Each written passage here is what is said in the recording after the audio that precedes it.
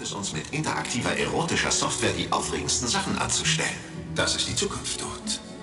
100% Elektronik.